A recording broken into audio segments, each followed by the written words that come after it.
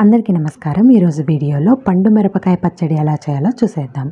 పండు మిరపకాయల్ని call KG వరకు తీసుకున్నాను. ఇవి కొన్ని ఎక్కువే ఉన్నాయి. దీంట్లో అంత వేస్టేజ్ అవి ఇవి వెళ్తాయి కదా. సో అందుకని కొంచెం ఎక్కువే తీసుకొని బాగా వాటర్లో వాష్ చేసి ఇలా ఒక పంచబట్ట తీసుకొని బాగా తుడిచేసి పది నిమిషాల పాటు బాగా ఫ్యాన్ గాలికి ఆరపెట్టాను. ఆరిన తరువాత ఇలా కాడలన్నీ తీసేసి ఎక్కడన్నా కాడలు ఊడిపోయి ఉంటాయి కదా అవి పక్కకి వేసేసాను అక్కడ వాటర్ లోపలికి వెళ్ళిపోయి పికిల్ చెడిపోతుంది కాబట్టి ఇలా నీట్గా నేను కాడలన్నీ తీసేసుకొని ఫ్యాన్ గాలికి ఈ కాడలు తీసేసిన తర్వాత ఇంకొక ఫైవ్ మినిట్స్ పాటు డ్రై చేశాను. ఇలా డ్రై చేసిన పండు మిరపకాయలని తొక్క తీసేసిన దానితో తూకంగా షాప్లోకి వెళ్ళి తూకం వేపించుకొని వచ్చాను. కాల్ కేజీ పండు మిరపకాయలు డెబ్బై గ్రాముల చింతపండు డెబ్బై గ్రాముల రాళ్ళ ఉప్పు. ఇలా ఉప్పు చింతపండుని మెజర్ కప్స్లో చూపిస్తున్నాను. ఎయిటీ ఫైవ్ ఎంఎల్ కప్పులోకి కొద్దిగా ఎల్తిగా వచ్చింది ఉప్పు. చింతపండు వన్ ట్వంటీ ఫైవ్ ఎంఎల్ కప్పుకి కొద్దిగా ఎల్తిగా బాగా అదిమి పెట్టి ఈ విధంగా తీసుకున్నాను. స్టవ్ మీద ప్యాన్ పెట్టుకొని హాఫ్ టేబుల్ స్పూన్ మెంతుల్ని యాడ్ చేసి లో ఫ్లేమ్లో ఈ విధంగా గోల్డెన్ కలర్ వచ్చే వరకు ఫ్రై చేసుకొని ఇందులోనికి హాఫ్ టేబుల్ స్పూను ఆవాలను కూడా యాడ్ చేసి థర్టీ సెకండ్స్ ఫ్రై చేసి ఇవి వేరొక గిన్నెలోకి తీసేసుకొని చల్లారబెట్టుకుంటున్నాను అస్సలు మనము కారం అనేది చేతికి తగలకుండా ఈ విధంగా సీజర్ తీసుకొని ఈ పండు మిరపకాయల్ని కట్ చేసుకొని పక్కన పెట్టేసుకోండి. ఈ విధంగా పక్కన పెట్టుకునే లోపల ఆవాలు తర్వాత మెంతులు చల్లారిపోయాయి కదా? ఇవి బాగా దంచుకోవాలి. ఇది కొంచెమే కాబట్టి మిక్సీ గిన్నెలో పడదు. అందుకు నేను రోల్లో వేసి దంచుతున్నాను. ఈ విధంగా మంచిగా దంచిన తర్వాత దీనన్నిటిని పక్కన పెట్టేసుకోవాలి. ఇప్పుడు ఒక మిక్సీ గిన్నె తీసుకొని చింతపండుని ఈ విధంగా పొడి పొడిగా చేసుకొని మిక్సీ గిన్నెలోనికి యాడ్ చేసుకోవాలి.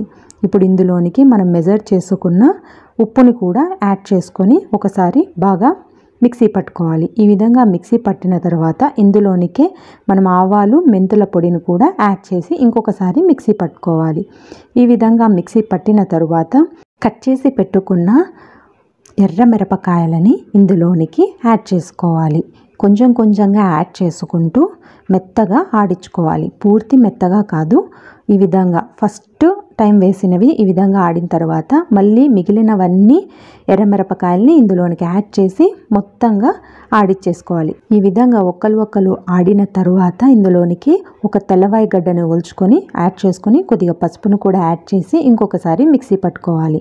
ఈ విధంగా మిక్సీ పట్టిన తర్వాత నేనైతే కొంచెం మెత్తగానే ఆడిచ్చాను. మీరు కావాలి అనుకుంటే తెల్లవాయలు పసుపు ముందే వేసుకొని కూడా ఆడించుకోండి కొంచెం ఒక్కలొక్కలు కావాలి అనుకుంటే కూడా ఆడించుకోవచ్చు నేనైతే కొద్దిగా నున్నగానే ఆడిచ్చాను ఇప్పుడు దీన్ని నేను మూత పెట్టేసి ట్వంటీ ఫోర్ అవర్స్ పాటు ఊరేందుకు పక్కన పెట్టేస్తున్నాను. నెక్స్ట్ డే స్టవ్ మీద కడాయి పెట్టుకొని వన్ ట్వంటీ ఫైవ్ ఎంఎల్ ఆయిల్ని యాడ్ చేసి ఆయిల్ హీట్ అయిన తర్వాత ఆవాలు జీలకర్ర కరివేపాకు ఒట్టి మిరపకాయలు తర్వాత వెల్లుల్లి రెమ్మలు వీటన్నింటిని యాడ్ చేసి స్టవ్ అనేది బంద్ చేసుకోవాలి.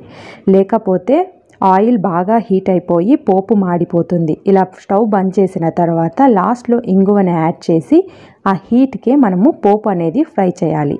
ఎక్కువ హీట్ అనేది అలాగే పెట్టాము అంటే పోపు మాడిపోయి ఊరగాయ యొక్క టేస్ట్ అనేది మారిపోతుంది. కాబట్టి స్టవ్ని బంద్ చేసుకొని పోపును బాగా వేయించుకొని ఈ పోపు బాగా చల్లారిన తర్వాత మనము ముందు రోజు ఆడిచ్చి పెట్టుకున్న ఊరగాయని ఇందులోనికి యాడ్ చేసుకోవాలి. ఈ విధంగా యాడ్ చేసుకొని ఒకసారి బాగా మిక్స్ చేసుకోవాలి. ఇలా కలుపుతూ ఉంటే ఆయిల్ అంతా పీల్చేసి ఇందులో ఆయిల్ అనేదే కనిపించదు. ఈ విధంగా మిక్స్ చేస్తూ బాగా కలుపుకోవాలి. ఈ విధంగా ఆయిల్ అంతా పీల్చేస్తుంది చూడండి లాస్ట్కి దీన్ని మనం గాజు డబ్బాలో వన్ ఇయర్ పాటు స్టోర్ చేసుకోవచ్చు.